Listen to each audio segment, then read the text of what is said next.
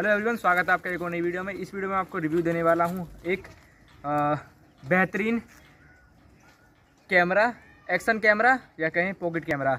यह है डी का ओसमा पॉकेट कैमरा, जिसे मैंने एक साल पहले ख़रीदा था। दिवाली पर ख़रीदा था मैंने, इसकी जो एक्चुअल कॉस्ट है, उस समय थी, लेकिन अभी ये नहीं आ रहा, इसका वर्जन टू आ गया है। इसकी जो कॉस्ट थी बीसीआर थी, मुझे दिवाली मिल गया था सोलह हज़ार का। इस कैमरे को मैंने एक साल यूज़ कर लिया है। तो अगर आप एक ब्लॉगर हैं या फिर ट्रैवल ब्लॉगर बनना चाहते हैं ट्रैवल ब्लॉगिंग करना चाहते हैं, जैसे कि हम ट्रैवल ट्रेन का ब्लॉग बनाते हैं तो हम अगर फ़ोन लेकर जाएँगे तो हवा से फ़ोन उड़ जाएगा या टूट जाएगा या गिर जाएगा तो बहुत रिस्क रहता है उसमें।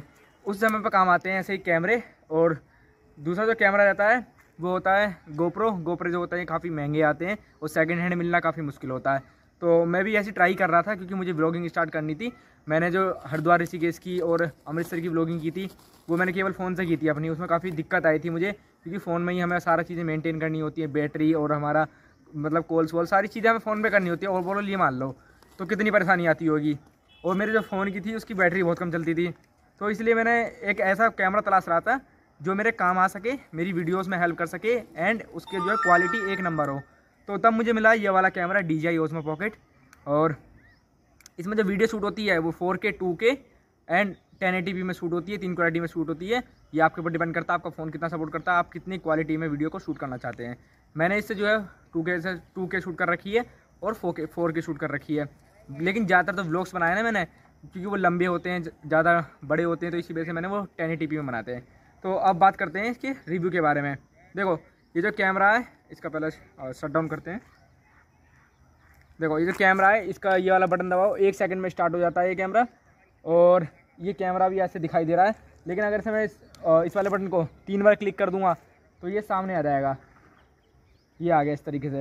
यानी कि जब अभी आप ट्रैवल ब्लॉगिंग कर रहे हो तो इस तरीके से जैसे हम अभी ब्लॉग बना रहा हूँ ब्लॉगिंग कर रहा हूँ तो मान लो मुझे अभी सामने की चीज़ दिखानी है। तो हाई गाइज़ मैं अभी यहाँ पर हूँ और अभी मुझे देखो मेरे सामने ये कितनी अच्छी दीवार दिखाई दे रही है। तो इस तरीके से मैं एकदम से कर सकता हूँ। लेकिन फ़ोन में क्या होता है कि किसी किसी फ़ोन में रहती है सुविधा कि हम बना सकते हैं, लेकिन किसी किसी में नहीं होती है। तो इस चीज़ में एक दूसरी चीज़, अगर इसके आपको मोड्स चेंज करने हैं वीडियो वीडियो स्टार्ट करनी है कैमरा में फ़ोटो खींचने हैं तो किस तरीके से खींचेंगे? ये रेड बटन दिया हुआ है इसमें, इस बटन को क्लिक करेंगे वीडियो स्टार्ट हो जाएगी। और स्टेबल अब इसकी स्टेबिलिटी की बात करते हैं स्टेबलाइजेशन कैसा है इसका? तो अभी दिखाते हैं स्टेबलाइजेशन एक मिनट। स्टेबलाइजेशन देखो। लेफ़्ट हैंड में मेरा जो है फ़ोन है और राइट हैंड में मेरा कैमरा है। स्टेबलाइजेशन देखो किसकी अच्छी है। ठीक है? दबा के हमारे जो है मोड चेंज होते हैं सारे। ये हो गया हमारा भाई कैमरा मोड अभी हम फ़ोटो खींचेंगे तो ये फ़ोटो खिंच जाएगा। एक नंबर से फ़ोटो आते हैं और एक नंबर से वीडियो आती है। और जो है हम लोग हाइपर लैप ले सकते हैं टाइम लैप्स ले सकते हैं। एंड सबसे बड़ी चीज़ जिसमें गोप्रो काम नहीं करता वो है नाइट में। नाइट में अगर आपको फ़ोटोज़ खींचने हैं फ़ोटोज़ या फिर वीडियोज़ बनानी है नाइट में तो उस समय पे हमारा ये डी जी पॉकेट कैमरा काफ़ी अच्छी तरीके से सपोर्ट करता है। अब बात करते हैं मेन चीज़ इसकी बैटरी की। तो बैटरी जो इसकी अगर आप इसे स्टिल रख के, कहीं एक जगह रख के, जैसे अगर कोई ट्यूटोरियल है, वो सब शूट कर ले तो उसके लायक नहीं है ये कैमरा उस समय जो इसकी बैटरी चलेगी, वो मात्र चार घंटे चलेगी। लेकिन अगर आप व्लॉगिंग करते हैं व्लॉगिंग करते करते वीडियोस बनाते हैं, क्योंकि उसमें क्या होता है कि हमें केवल जो मूवमेंट रहते हैं, वही कैप्चर करने होते हैं, ना कि हमें सारी चीज़ें बतानी होती हैं।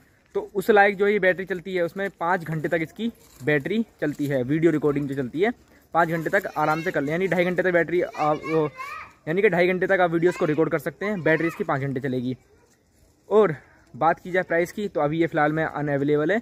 आपको अगर मिल जाता है तो किस्मत की बात है। बाकी अमेज़ोन पे मैंने लिंक डाली हुई है चेक कर लेना एक बार।